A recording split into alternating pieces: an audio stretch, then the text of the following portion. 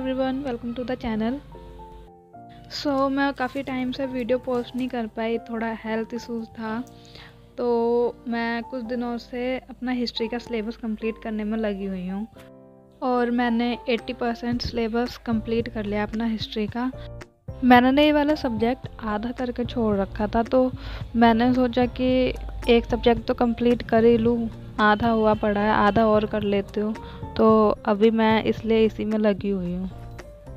और मुझे इस सिलेबस को कंप्लीट करने के बाद तीन चार बार बार बस रिवीजन करना पड़ेगा। उसके बाद मेरा सब्जेक्ट क्लियर हो जाएगा क्योंकि मुझसे याद तो होता नहीं तो मैं बस रिवीजन ही कर कर के जो भी चीज़ें हैं वो सारी हैंडल कर लेती हूँ।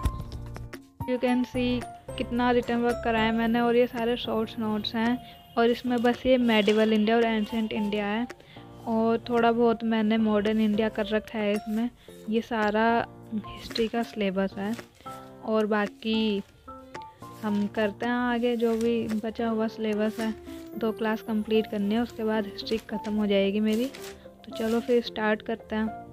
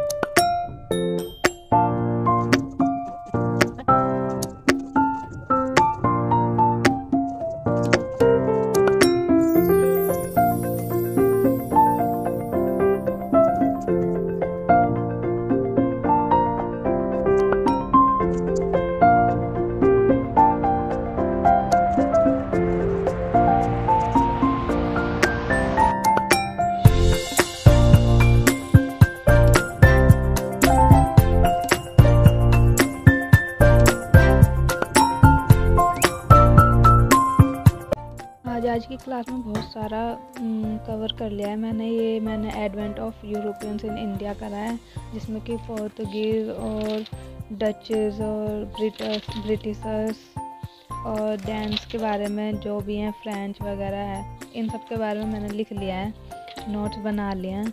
और इसके बाद मैंने करा है राइज ऑफ़ इंडिपेंडेंट स्टेट्स जिसमें कि मैंने बंगाल और अवध के बारे में लिखा है। और है राजपूत के बारे में लिख लिया मैंने नोट्स बना लिए, जाट स्टेट के बारे में लिख लिया, मैसूर के बारे में चल रहा है। तो इसके बाद का जो भी सिलेबस है मतलब जो भी है नोट्स बनाना जो मुझे, वो मैं नेक्स्ट क्लास में करूँगी, क्योंकि रात भी बहुत हो गई और मेरा हाथ भी दर्द करने लग गया लिखते लिखते तो मिलते हैं फिर नेक्स्ट ब्लॉग में, तब तक के लिए बाय बाय और हाँ मैं सोच रही हूँ कि मैं रोज़ अपने अपडेट्स देती रहूँ कि मैंने कितना सिलेबस कंप्लीट करा, क्योंकि मुझे जल्दी से जल्दी सिलेबस कंप्लीट करना है, फिर रिवीजन ही करना रहेगा।